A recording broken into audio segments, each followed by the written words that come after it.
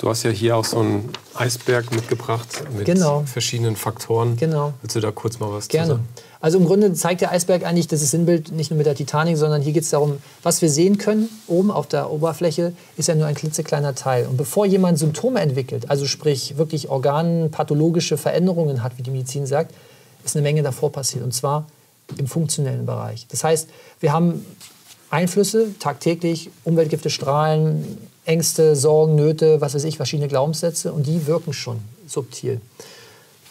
Die bewirken vor allen Dingen, also nehmen wir mal die Schwermetalle ähm, als Umweltgifte, die wirken vor allen Dingen darauf, dass sie den Stoffwechsel blockieren. Also Enzyme werden blockiert. Dadurch kommt der Stoffwechsel ein bisschen zum Erliegen. Weil die, weil die ersetzen, die setzen sich anstatt. Die ersetzen die Steuerelemente in mhm. den Enzymen. Ja, das ist einfach so. Die werden verdrängt. Was weiß ich, wenn ein Enzym Zink braucht als Co-Faktor und äh, wird verdrängt und kommt Quecksilber rein, ja. dann funktioniert das Enzym nicht mehr so. Und das ist zum Beispiel im Bereich der Schilddrüsenhormone. So, und dann haben wir Regulationsstörungen die sich dann aber weiter aufschaukeln können zu Funktionsstörungen. Das heißt, das Organ macht nicht mehr das, was es soll, produziert nicht mehr meinetwegen eine bestimmte Hormonmenge und dann kommen die Leute in eine Unterfunktion zum Beispiel. Haben ja so viele Menschen, Frauen vor allen Dingen, haben ein Problem mit der Schilddrüse. 33 Prozent nehmen sogar, soweit ich ein, oder? Ja, ja. Das sind echt viele. Ja. Und, und irgendwann haben wir diese Organerkrankungen, die man auch wirklich sehen kann. Manche entwickeln ja so, so, so, so ein ähm, so ein Krupp oder, oder, oder so, so, so, so ein Strumer mhm. ja, und so weiter. Das, das ist aber dann schon die Spitze des Eisberges. Da ist ja schon eine lange Vorgeschichte. So.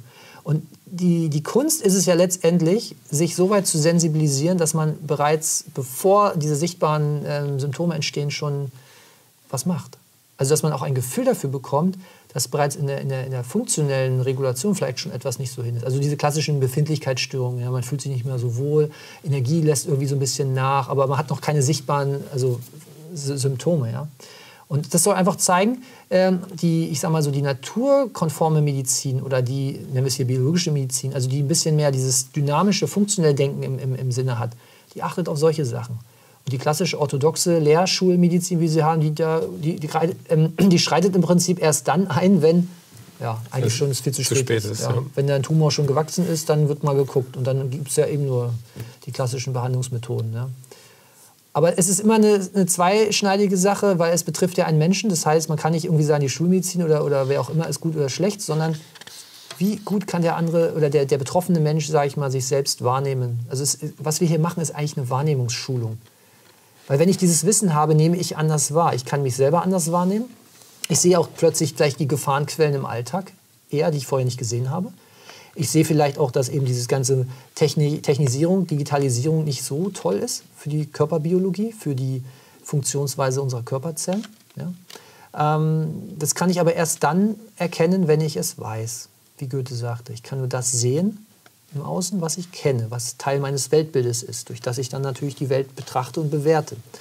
Und deswegen ist es wichtig, sich solches, ja, ich würde schon fast sagen, Überlebenswissen anzueignen. In der heutigen ja. Zeit muss man wirklich sagen, wer sich heute nur auf blind auf die, auf die, auf die Lehrschulmedizin oder generell auf über irgendwelche Therapien verlässt und nicht mehr die Achtsamkeit besitzt, im Alltag wirklich für sich selber gut zu sorgen und sich seine Gewohnheitsmuster mal anschaut und, und auch schaut, was er selber machen kann, der wird ein böses Erwachen bekommen. Ja? Ich, ich, weiß, mir hat mal eine Bekannte gesagt, ähm, einen Satz, da konnte ich nichts mehr zu sagen. Ich tue doch was für meine Gesundheit, sagte sie, ich zahle in die Krankenkasse ein. Hat die das ernst gemeint? Ja, die hat es ernst gemeint. Und ich dachte nur, okay, hier brauche ich nicht weiterreden. Also es, es ist sinnlos. Ja. Hopfenmalz verloren. Ja, es ist sinnlos. Wer so ein Denken hat, ähm, wird sehr schnell zum Opfer ja, von solchen Therapien dann unter Umständen. So, und dann ist halt die Erkenntnis durch bittere Erfahrung gewonnen oder durch, ja. durch Leiterfahrung, ja. Ähm, ist dann halt so, ja. Und vielleicht können wir mal abschließend noch mal ein Thema zum, zum, zum ähm, hier besprechen, was so verbreitet ist und gleichzeitig wiederum so wenig Sensibilität für die Menschen oder, oder, oder die Menschen dafür sensibilisiert für dieses Thema, nämlich das große Thema elektromagnetische Einflüsse. Mhm. Ich möchte das Thema mal auf diese Art und Weise angehen, indem ich einfach mal die Frage ketzerisch in den Raum stelle, wenn unser Körper nur aus Atomen und Molekülen besteht, wie kann dann ein Atom krank werden?